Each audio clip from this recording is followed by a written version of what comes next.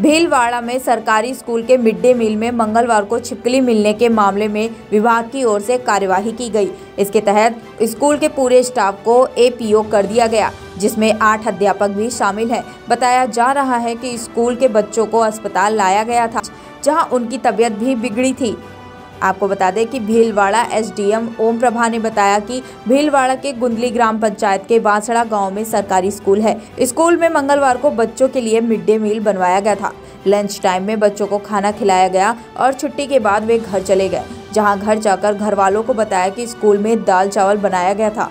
उस दाल के बर्तन में छिपकली थी। परिजन बच्चों की बात सुनकर उन्हें बगौर अस्पताल ले गए। जानकारी मिलने के बाद टीम बच्चों के पास व स्कूल पहुँची और इस मामले में स्कूल के स्टाफ को एपीओ कर दिया गया है। Bureau report, IPN.